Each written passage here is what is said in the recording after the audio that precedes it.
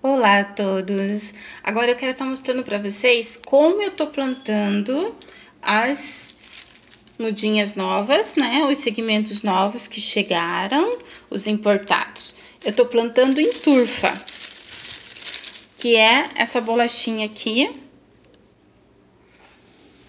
que tá hidratando, tá? Essa é a turfa, uma bolachinha bem fininha, dura, consistente. E como eu tinha falado no vídeo onde eu mostro a novidade da turfa, ela não é um mineral, ela é vegetal, ela é turfa vegetal, desfagno.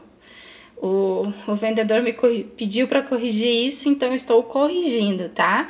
É uma turfa vegetal, é desfagno, ela ajuda no enraizamento de segmentos, de sementes, de estaquias, tá? Então, aqui eu já tenho algumas que estão hidratando, estão em água morna, tá?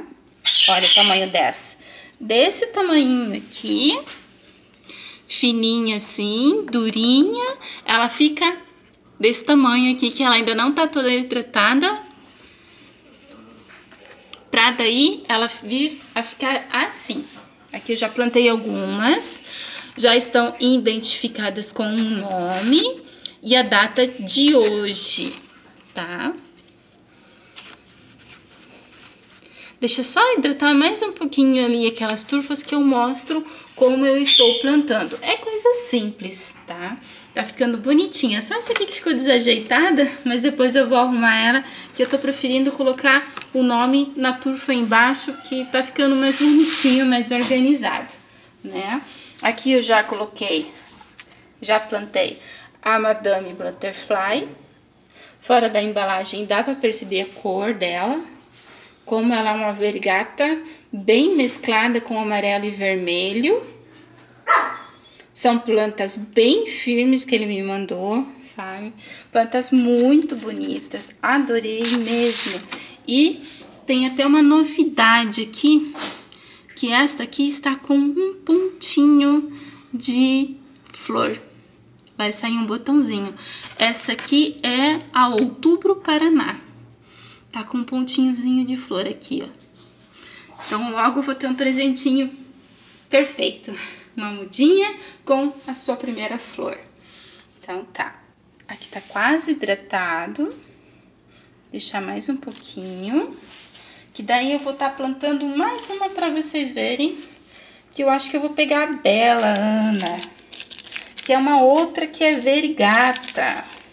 Que tem folhas com cores diferentes.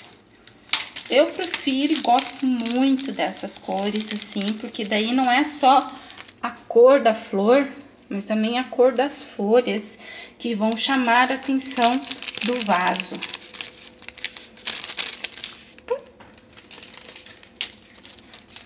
Olha que folha mais bonita essa. Tá quase amarelinha de tudo. Um vermelho com um amarelo. Aqui já tem os pontos mais descascado, que já vai sair raiz. São mudas bem firmes, segmentos duros, firmes, olha.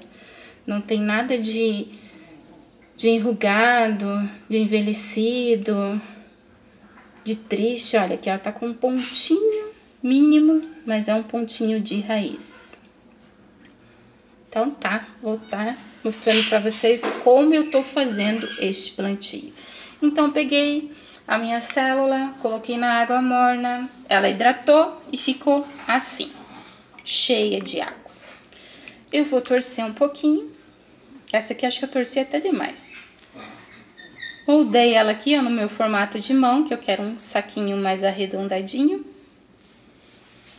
Acabou soltando lá dentro, né, ficando mais fofinho. E eu vou pegar o meu segmento e vou encaixar aqui.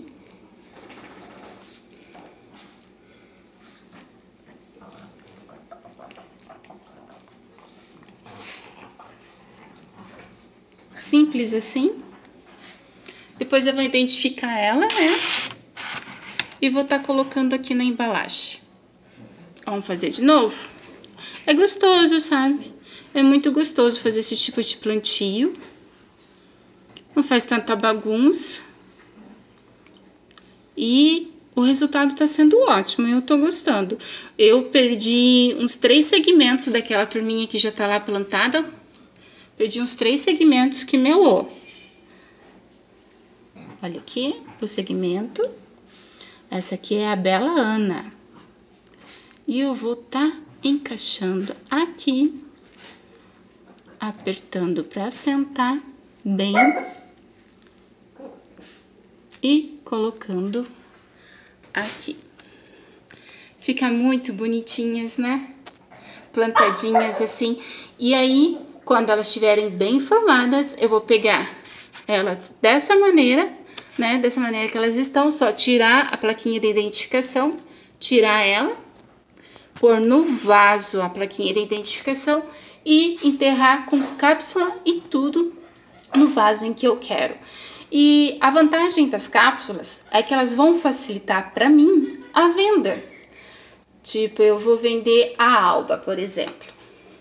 Vou vender uma alba, eu simplesmente pego ela com a cápsula e tudo, aqui, com a cápsula e tudo, coloco na embalagem e envio pro comprador. Aí ele vai pegar planta com cápsula e tudo e pôr no vaso que ele quer. Aqui tem três segmentos porque um deles está emelado, ó. É aquilo que eu falei, eu tenho perdido só alguns segmentos, ó. Aqui, ó, caiu e quebrou. Melou. Mas acontece. É até interessante isso, porque a do lado estava melada e a outra não está, sendo que ela tá com botão. Ela tá com um botãozinho aqui, ó, gente. Então, é assim que estão ficando as minhas mudas de flor de maio, de ratiola, que é a flor de outubro, que tá aqui, ó, nesse cantinho aqui, ó.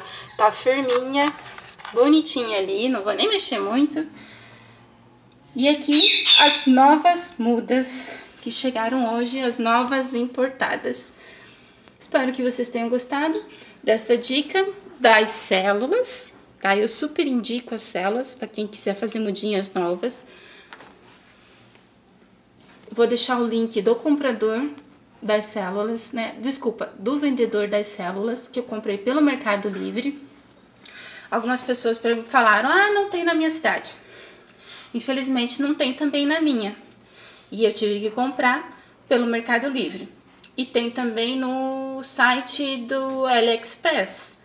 Células menores, em mais quantidade, só que demora mais tempo para vir, né? Leva até acho que uns três meses.